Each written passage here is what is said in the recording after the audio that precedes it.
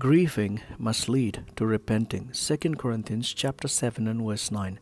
As it is, I rejoice not because you were grieved, but because you are grieved into repenting. For you felt for a godly grief, so that you suffered no loss through us. Paul's letter was so strong and severe that often people got offended. Paul didn't mean to condemn them when he wrote it. His intentions were that people would change their way of living and begin life based on the principles Jesus taught. The people of Corinth were associating themselves with unbelievers who were indulged in all forms of idolatry. Paul warned them to separate themselves from such people. Somehow, people obliged to his writing and they were feeling sad for their way of life. They decided to repent of their ways, and their sorrows were worthy.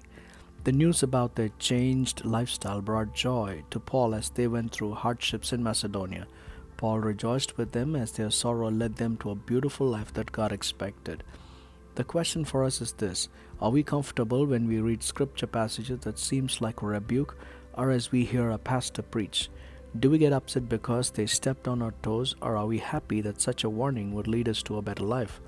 Often people turn around and get upset with the minister and cause little confusions forming small groups. They don't have godly grief but put everyone else in grief.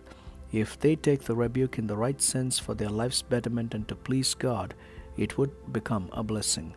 Godly repentance honors God and transforms our life. Grieving must lead to repenting. Amen.